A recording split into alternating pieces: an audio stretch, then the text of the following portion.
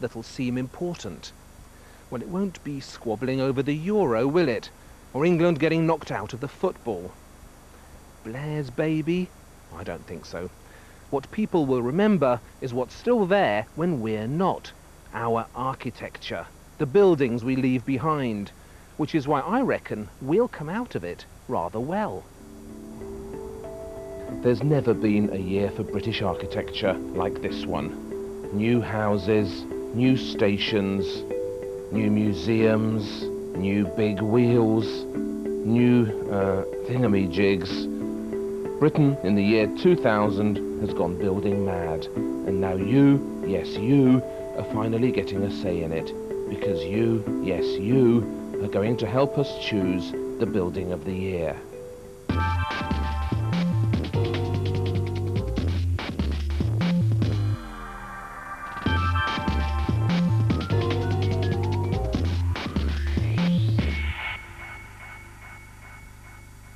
It's been the year of the dome, hasn't it? But not necessarily the year of the dome.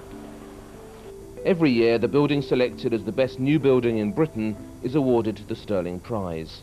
This year, for the first time, your vote will count.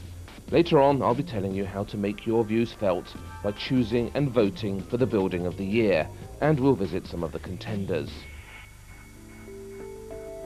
So if you're someone who likes looking up at the sky, or a traveller on the underground, amazed by what's down there, this year we're going to want to hear from you. It isn't just the capital and the big cities that have caught this millennium building bug. The new British love of modern architecture has revealed itself in all sorts of places. I'm two hours north of Newcastle here, in the Kielder Forest in Northumberland. Let's be honest, who could ever have imagined coming across something like this somewhere like here? Britain really is changing, and there's the proof.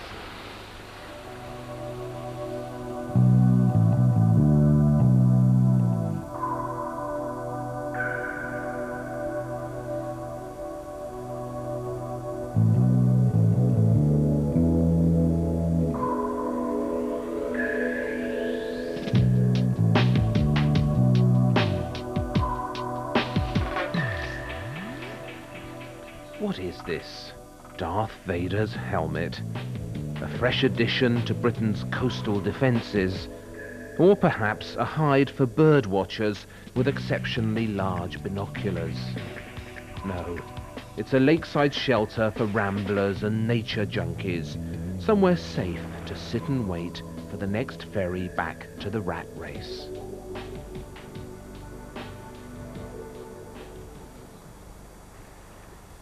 The Kielder Belvedere, as it's called, is the smallest contender this year for the building of the year. But from many angles, it isn't clear where the Kielder Belvedere actually is. It's involved rather mysteriously in a gorgeous outdoor duet between the man-made and the natural, between the new and the old, between our artistry and nature's. The shelter for tired ramblers is the elusive handiwork of a fresh-faced architectural practice who call themselves the Softroom. They're not really rural types, they're based in Soho, but they know a thing or two about looking good outdoors. It's kind of like putting on a pair of sunglasses or something. When you go inside the building, it becomes much warmer and much cozier. And when you close the door, you really are in a kind of very warm yellow environment. It's a kind of very snug world. I think that the idea of uh, using a stainless steel in a, in a rural setting like we have here and you know, being able to draw on the qualities, of the reflections and uh, the way that you can bring the sky into the surface quality of the materials, that, that was a very interesting part of the design for us. I think that some of the obvious solutions just wouldn't have been as delightful for people to look at. One of the beauties of it is that it changes with the sky and you can look at it from different angles and it basically has enough complexity in it that it pretty much covers all angles.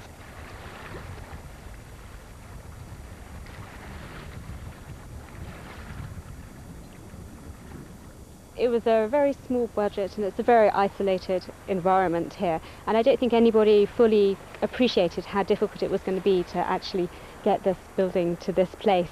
at the uh, kind of within the timescale and for the right amount of money. So what was the budget? It was thirty-five thousand pounds. Well, that's very little, isn't it? Yeah, I think maybe too little. I think that the kind of small public buildings that we have nowadays, like bus shelters, places to make phone calls, are very pragmatic, and it would be good to kind of kind of take this as an example of how you can make them much more interesting and lively and fun.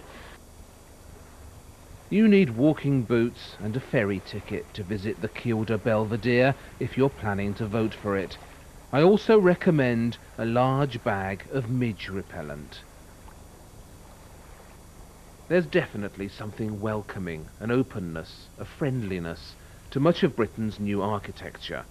It's not that architects have grown less arrogant. There's no such thing as an unarrogant architect. But they are getting better at sharing.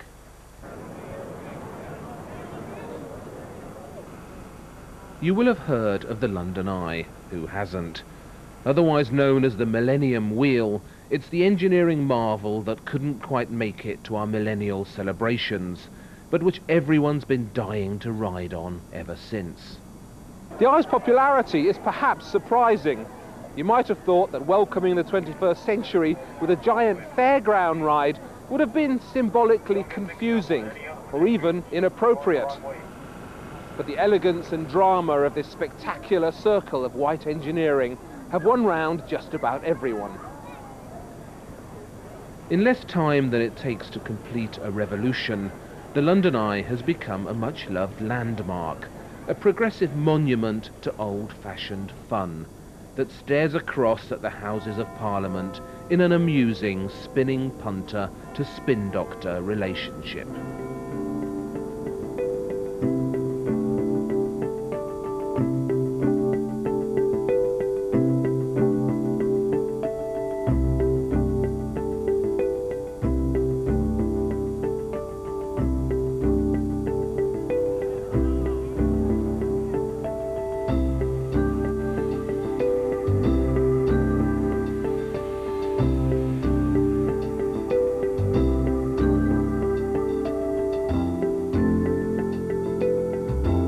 Have to get close to appreciate what a marvel of Flash Gordon engineering this is. I clambered into my glass pod gingerly for a sky-level meeting with the architect. How many feet are we above London now? I mean, we're 550 feet. Ah, we're 550 feet above London. You know, normally I must say to you, I would be trembling with vertigo at this point, but I'm not.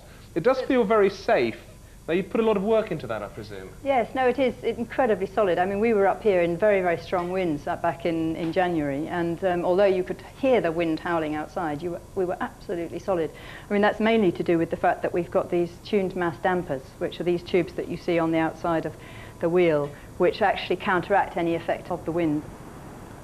When you're looking down on London from low-flying Concorde height, feeling safe is as important as being safe and the architects of the London Eye play clever and deliberate mind games with their punters to achieve this. Their pods are reassuringly rounded. The seats in the middle are no lower than you are, but they're there for you if you faint. The speed is geriatric, the floor encouragingly non-see-through. The only way to look is out and about, feeling free and great. There was nowhere in London previously with which you could appreciate the city as a whole and from a height, and that's really what it's about.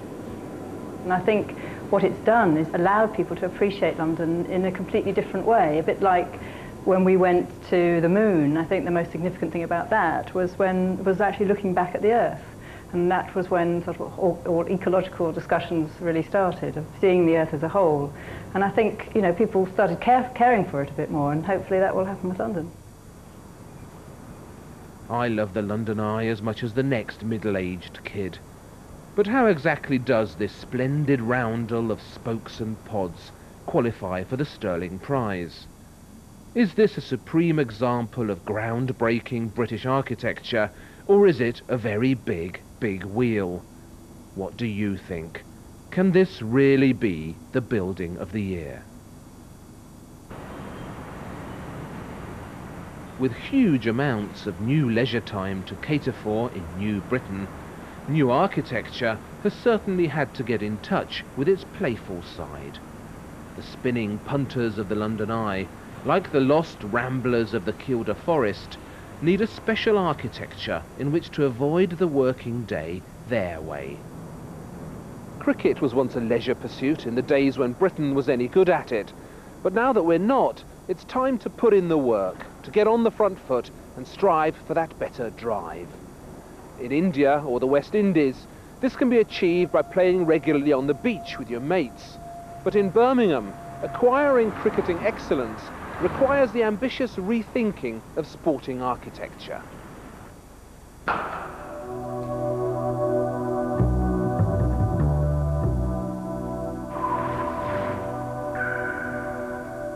Edgbaston Outdoors is a reserved building, quietly efficient, Dennis Amiss-like.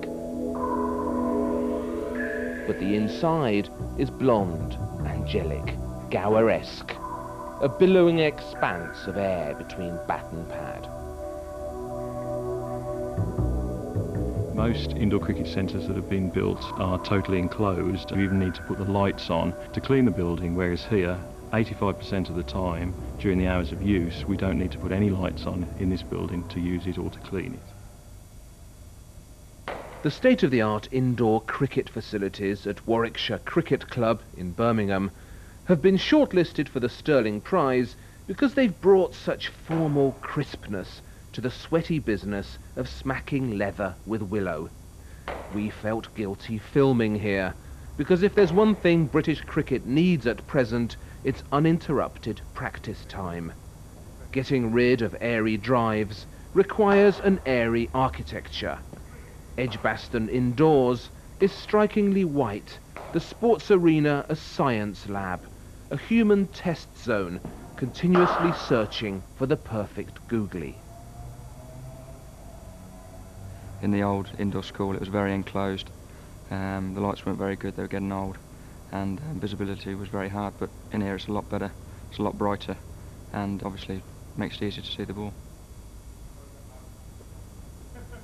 You can take the nets, push them back, you can have an open game, you can field in practice, you, you can do whatever you want really because the space is here. There's a bar upstairs, so that helps. That's right, lads. To beat the Australians, you need to exercise those elbows.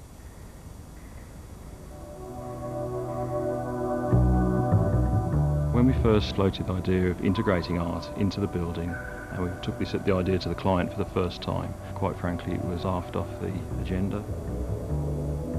The club in particular were quite keen on having sort of representational work of heroic shots from famous cricketers, and of course that didn't appeal to the artists at all. And I think probably the, the image that has been produced, which has all the ideas behind it of the building and is integrated into the building, even etched into the building, strikes the right balance between being accepted and having some, some sort of integrity with its ideas.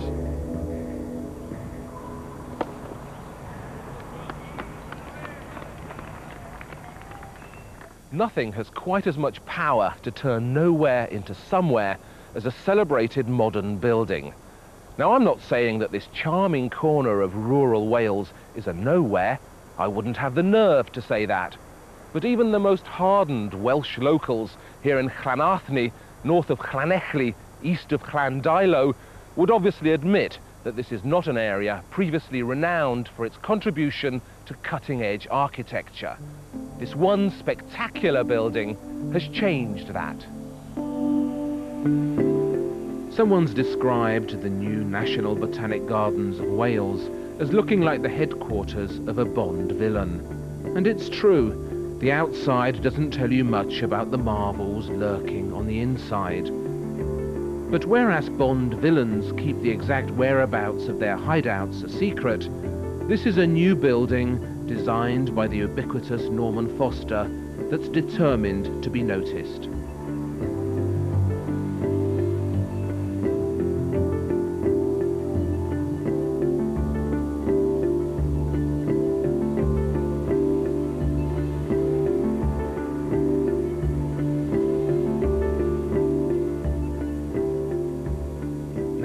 Course, people will be coming to the Great Glass House for all sorts of floral reasons. To learn about Mediterranean horticulture, to pick up gardening tips and buy pictures of Charlie Dimmock. But the chief reason they'll be coming, in droves, is to see a remarkable construction somewhere unlike anywhere else they've seen. A man-made landmark, a must-see destination, fashioned almost entirely space-age glass, suspended in a filigree of weightless steel.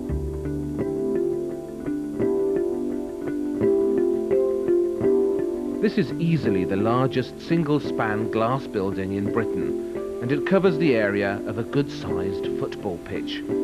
Every pane of glass took two weeks to make and especially hardened. The question you're dying to ask is how do they clean the windows? The answer is that the glass is tough enough to be walked across. It's very interesting to see such a big span of glass, really. And very impressive, I think, because Yeah. it is the largest, isn't it? It's not a carbuncle, is it? No. It, it blends in very, very nicely. It was breathtaking. I was speechless. It was beautiful.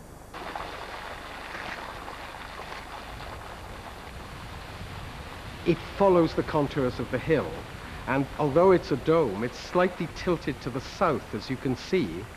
That gives us the maximum amount of sunshine, and it gives us these various rooms behind the northern lip, which allows the building to be very, very flexible.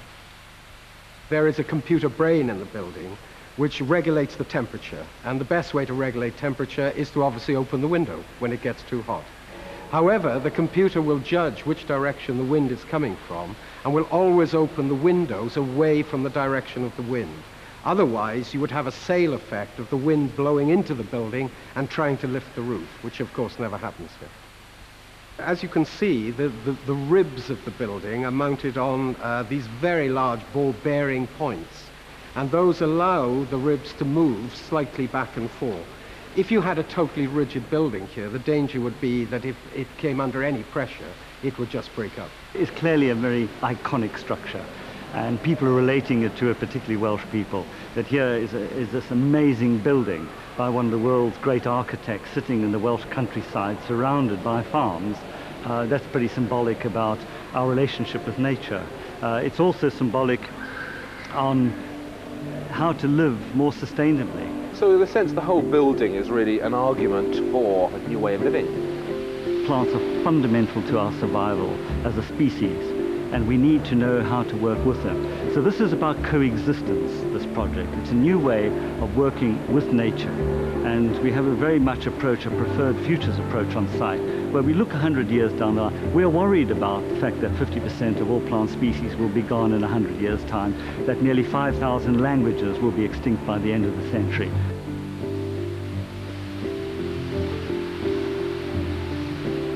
Here's a place where, by taking the longer view, we identify problems and we can work now to make sure those things don't come to happen.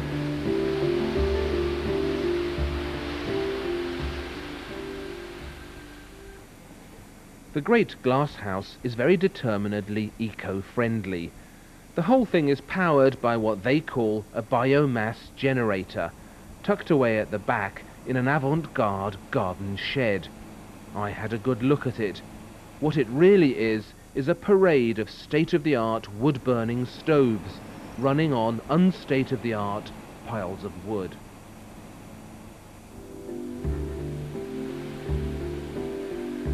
Powered by wood chips and rainwater, an 18th century idea given a striking 21st century form, the Great Glass House is a spectacular example of the traditional becoming the cutting edge. In that sense, it's a pointer to the future of all our buildings. I don't mean we'll all be living in greenhouses, but we will be living in smarter houses with eco-friendly ambitions. Flexible buildings that change and adapt. Deep in rural Wales, a building revolution is definitely stirring.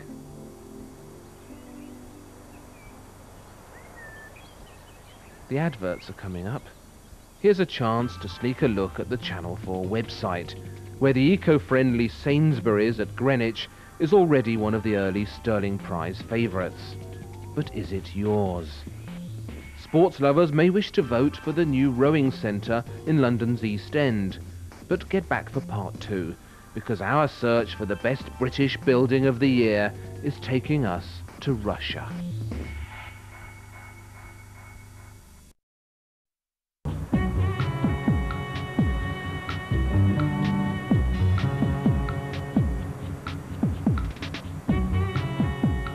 This looks like Russia.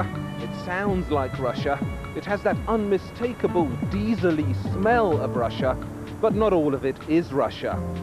Behind me, boasting a rather oriental and cheeky green dome, is the new British Embassy in Moscow, opened this February, but because it's technically on British soil, eligible for the Stirling Prize. It's perfectly possible that come November, the building, judged to have been the best new British building of the year 2000, will be located deep in the heart of Russia, on the sweet banks of the river Moskva. The old British Embassy was grand and conspicuous, a big player in the Cold War. Housed in a converted Moscow mansion built in pre-Bolshevik times, it stared across the river at the Kremlin in a pompous political face-off. The new embassy is, in fact, the first one specially built to be an embassy, and doesn't really look old enough for the job yet, does it? The new kid on the block seems to be surrounded by grown-ups. Looming up on the horizon above is the Russian Ministry of Foreign Affairs, a huge statuesque slab of power architecture built by Stalin in the 1950s, an almost perfect example of the bullying and terrifying government building. The new British Embassy, on the other hand, has a much more subtle identity. It's so subtle that I've been staring at it for two days and still its essential character eludes me. It could be one of Moscow's fashionable new Novotels, or a bijou modern apartment block for the city's gilded youth, of whom there are suddenly an awful lot. It could be some kind of inner city planetarium. What it doesn't look like is an embassy. You've got to design an embassy from scratch. Yeah. What were your first considerations? What was the first thing you decided upon? The modern embassy has to be a, a tool for the ambassador and his staff. It, it, it's, a, it's a multifunctional building. And that's why, for an architect, it's, it's one of the most fascinating briefs. With so many jobs on its plate, the new Moscow embassy has ended up as four interconnected buildings pretending to be one. Some bits are filled with elegant apartments where the staff live above the shop and amuse themselves. Another block is for the office work, while the exact function of the tower, topped by the cheeky green dome, is a closely guarded international secret. What's in that dome, by the way? It's a rather mysterious looking structure. I haven't the slightest idea. I promise you I don't know what's in it. I really don't know what's in there, and I have never been up there. I'm delighted that it doesn't have the feel of a traditional embassy with all the paraphernalia, because that's off-putting to the public.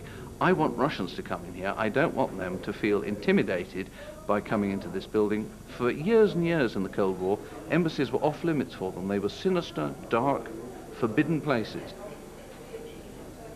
It is very good now that we are working in somewhere that is so contemporary as this, that shows we've modernized our country, we're trying to help in the process of modernizing Russia. That's the message we're sending. And which the Russians are definitely keen to buy. The rubles are pouring into the new visa section. New Style Britain requires New Style ambassadorship. In the foyer of this ex-Cold War embassy, pictures of the Queen have been replaced by poppy Brit art and designer armchairs. The art that's elbowed out the traditional portraits of Her Majesty is surprisingly naughty. This Michael Craig Martin picture with the rifled filing cabinet, the torch for breaking in at night, the seemingly innocent interrogation chair is surely a painting about spying. Does the ambassador know about this? There's a very striking piece by Michael Craig Martin in the foyer when you walk in. Yes. But he's an artist who likes to leave meanings open-ended in his art. The enigmatic side is so interesting, and that's one of the great things about art. It expands the imagination, takes you further into other thoughts and so on, and his does. And his is um, a piece which I've always enjoyed looking at. I think everybody kind of comes into this building and wow.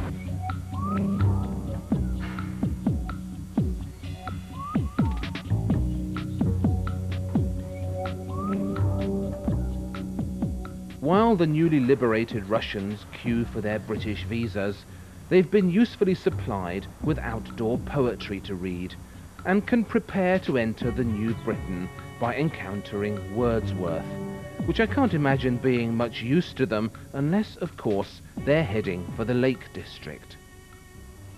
The lottery millions poured into Britain's architectural renaissance haven't all gone into Grand Projets.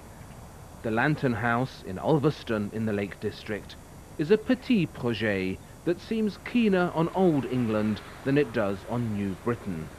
But it too couldn't have happened without Lottery Lolly. This building doesn't belong to a group called Welfare State, even though they own it. That's because Welfare State insist it belongs to all of us. Who are Welfare State? They're a boundary-stretching creative commune, a many-sided collective of artistic ex-anarchists who are getting on a bit now and who've taken time out from fighting the system to apply for a lottery grant. Get it, and with it build this serendipitous structure. Not all of which is new. There's a converted Victorian school lurking in there somewhere, to which have been added towers and gateways and an all-round sense of higgledy-pigglediness. In their literature, Welfare State describe this as a centre of global communication, and now they have the mast to prove it. I like the Lantern House for its English quirkiness. Someone's left their terracotta clogs on the stairs. The stairs themselves are Tuscan in tone. There are railway features. The entrance tiles greet you with flying bee-eaters. You didn't want to be modern, obviously, in the, in the aggressive modernist sense. Um, well, it was interesting that one of the architects uh, we did actually ask to make um, uh, a, a, study for us came up with what I can only describe as a shoebox on legs, uh, which was entirely over that side over there, which blocked the sun out. And, and we said, well, we might be kind of rural people up here, but you know, we know what the sun does. Eventually, we appointed Frank Roberts, who uh, uh, we liked him, A, because he could draw, B, because he knew the arts and crafts movement, C, because he designed churches. It was interesting that we had somebody feisty. You've ended up with something that, rather surprisingly, has a kind of, for me, a kind of seaside look. I think that's because Frank was brought up in Morecambe. Why do you like towers? Uh, well, because I've always been interested in fortress architecture and castles. Uh, I mean, I've toured, or dragged my family around most of the castles and fortresses of Europe, including Verdun and the Maginot Line. I'm particularly interested in, in that sort of thing. I like the picturesque, I like the dramatic.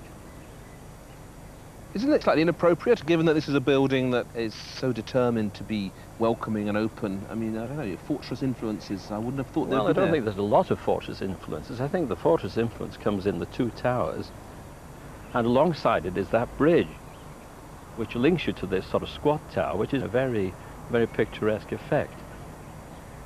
It's in a northern tradition anyway. I mean, it's, it's cold outside, so it has to, you have to be protected from the weather.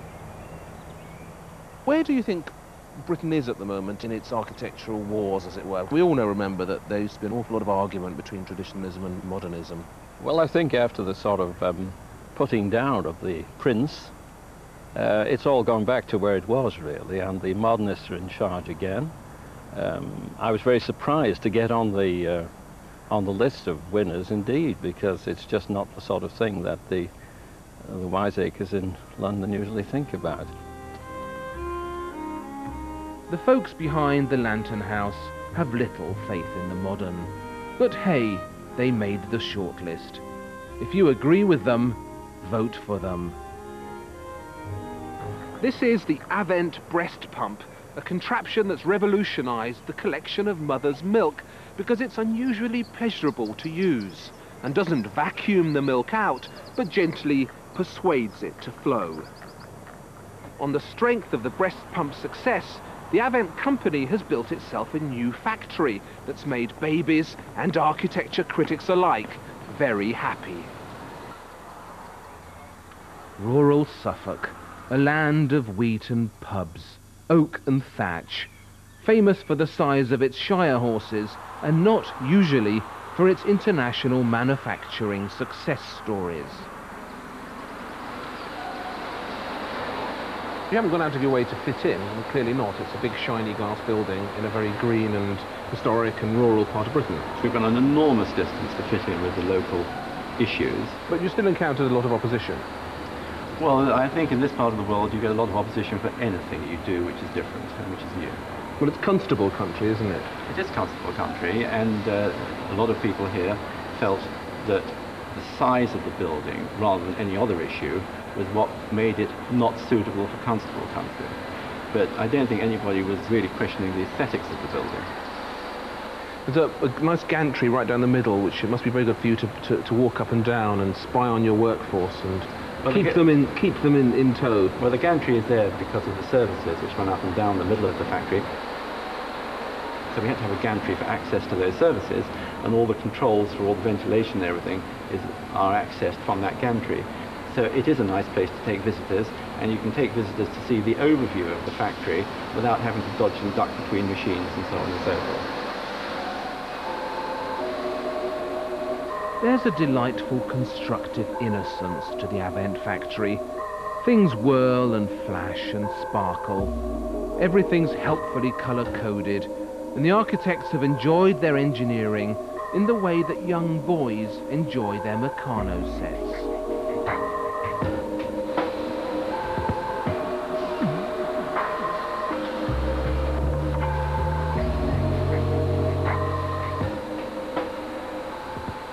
Blends in quite well. Um, but certainly is a lot different to the, the, the normal architecture around this part of the world.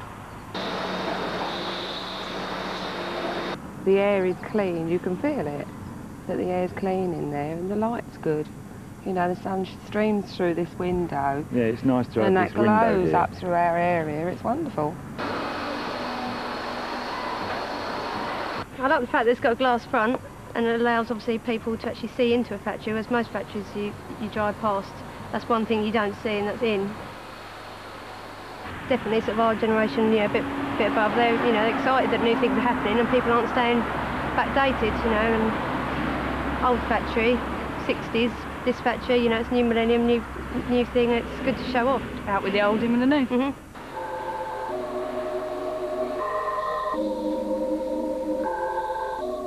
They're improving on nature, searching for the perfect teat, in an endless cycle of selection and rejection.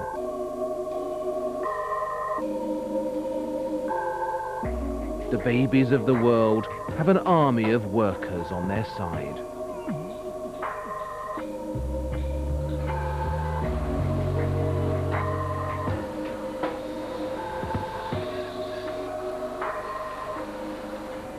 Well, it's such a refreshing change for some really high quality modern building to be built in this part of the world.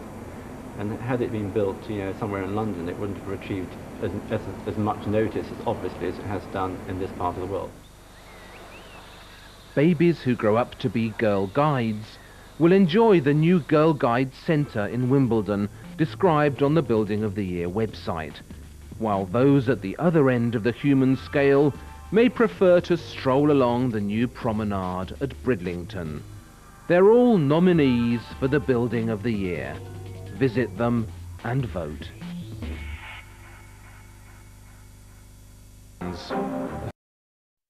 Docklands boom of the 80s, an awful lot of ugly buildings punctured the London skyline. With the biggest of them all also doubling as just about the ugliest. Canary Wharf. Spectacular proof that you can be oversized and charmless and a threat to the aviation industry and have a nasty pointy top and still get built if it's money that's talking rather than taste. But that was then. Now, at last, some proper aesthetic consideration is being put into the shaping of Docklands. And in the monstrous shadow of Canary Wharf, a masterpiece of London architecture has been unveiled.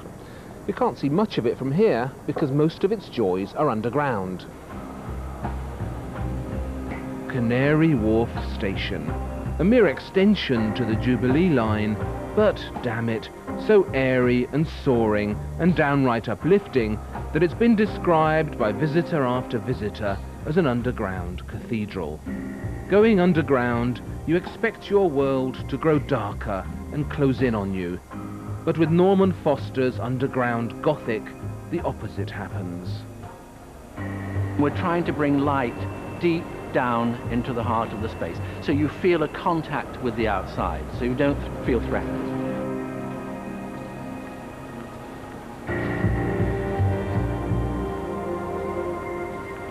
It's deep below ground. It's resisting enormous forces. This has to last a long time. 200 years has been suggested.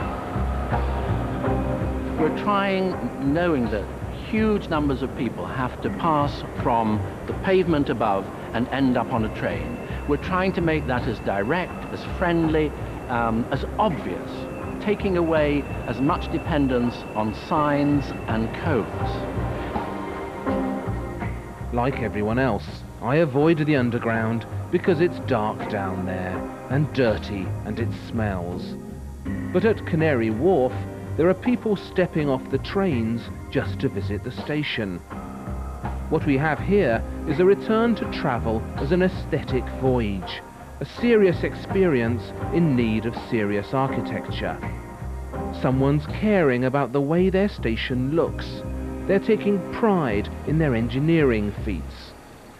Great stations used to be like this, and it's one of the recurring ironies of today's best architecture that while looking so forcefully to the future, it's also harking back to a finer architectural past.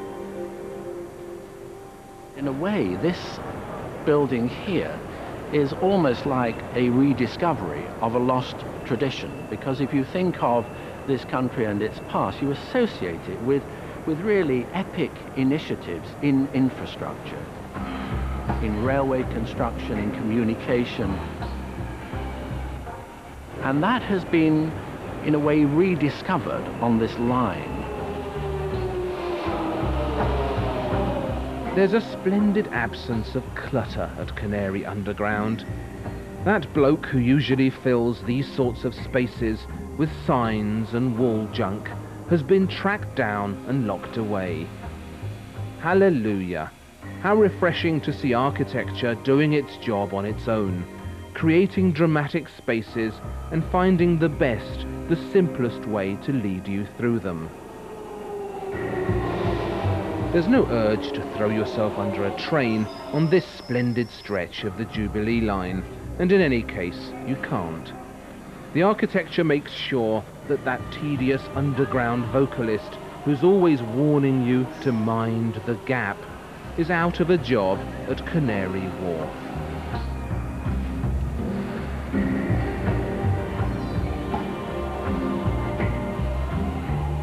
Just look at it.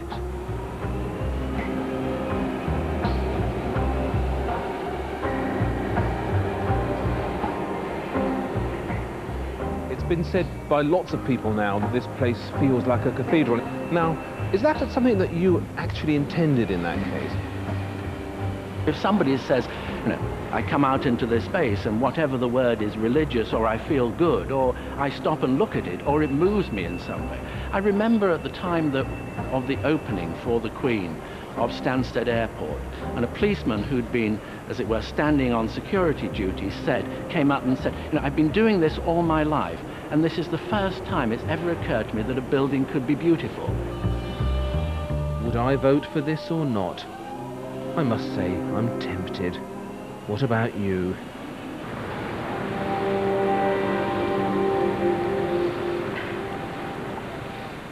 The city has been getting most of New Britain's new architectural attention, but the countryside needs it just as keenly. It seems as if the only time our architects focus as progressively on Britain's rural fabric as they do on the urban fabric is when the rural fabric in question is at the bottom of their own gardens.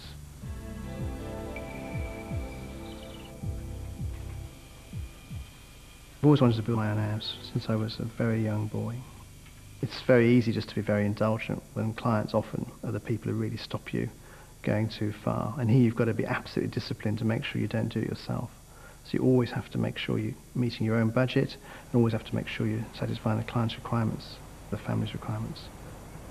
Mr. and Mrs. Shuttleworth are not the only members of the happy family that lives in the astonishing Crescent House. Master and Miss Shuttleworth live there too, and are ostentatiously named in the brief as co-clients. So what do you like about the house itself? Um,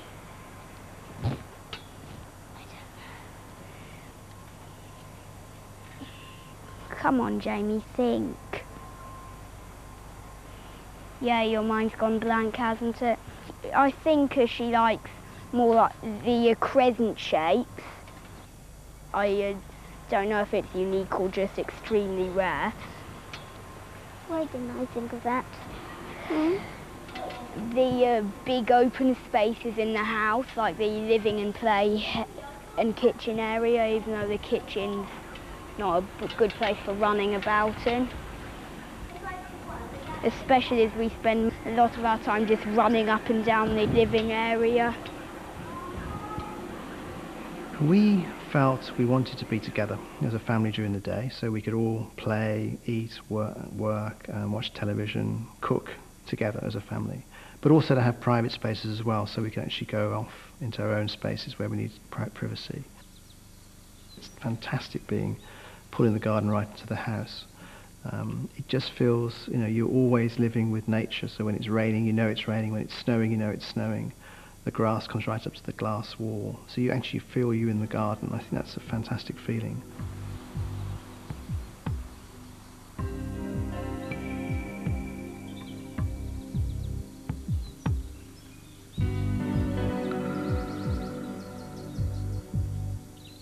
Jamie and Joe are surely destined for world domination in whatever field they choose.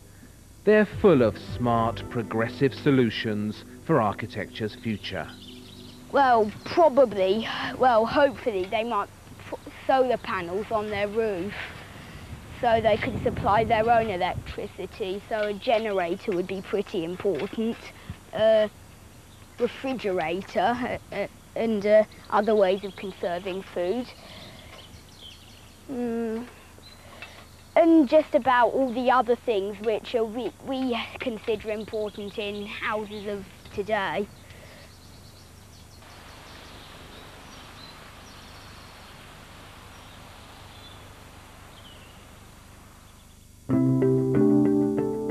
Largest contender for the Stirling Prize is also the most talked about building of our times, let alone the year so far. You'll have your views on it, everybody does. Mine is that all the relentless fretting over the interior has led to a lack of appreciation of the exterior. With books, you shouldn't judge the contents by the cover. With domes, you shouldn't judge the cover by the contents. A dome? It's probably the most efficient way of doing a structure. It encloses the most space for the least material, and it, because the section is the same on both sides, all the forces solve themselves uh, naturally. There's no, nothing which is sort of, everything can be repeated all the way around. So it's a very easy way of doing it. And of course, it's, it's, it's as old as, as time practically. Well, curiously enough, it used to be one of those architectural forms that was loaded with a horrible traditional weight. Do you remember Prince Charles famously said, why can't we have more domes and columns at the height of the great architectural debate? But it's as if the dome has recently been freed of that baggage. It costs very, very little. It costs less than a, sort of a standard shopping shed, shall we say. And at the same time, it has a very, I think, handsome shape. It encloses a vast amount of, uh, of, of space, and it looks very good from the outside because it has a very clear form. It's very legible. One of the extraordinary things about the success of Tate Modern or the success of this structure, the London Eye, is that basically they are profoundly progressive buildings or, or they're buildings with progressive ambitions and yet the public does like them after all. Yes, I think the public is, I've always argued, the public are much more open-minded than our critics, if I can say. You know, when we built Lloyd's, everybody said, ghastly, ghastly. The public flocked to see it. And when, when, the, the, when there used to be a sort of a gallery in which they could visit, um, they had queues all around the building. The public are interested, they're, they're, they're inquisitive the big difference in the last two years is that there's been a sudden change. I think the British, partly because suddenly they've seen what the quality of life is abroad, whether you go to Copenhagen or you go to Barcelona, you suddenly see the quality of life. They've brought this back and said, but we can have this. Is there a look that we have now that people are going to be able to look back on in the future and say, that's a 21st century early British building? No question. We're in one. Here we are. We're in this amazing combination of art, structure, space. This is it. There's not a better example than this, the London Eye, as a statement about the present at its edge going into the, into the future. What does architecture do? It shapes the world, that's what it does. Good architecture takes your breath away and makes places. Bad architecture ruins places. There'll always be both in our hasty world, but this year is particularly rich in the good variety. So go out and find some. The 50 buildings shortlisted for the Stirling Prize for the best new British building of the year 2000 are listed on the Channel 4 website. Look them up, visit them and decide where your vote goes. Because this year, your vote is going to count. You can vote with a click of the mouse, or phone, or write. The details are coming up at the end of the programme. And there's even a chance to win a holiday for two in Bilbao, just for exercising your democratic architectural rights.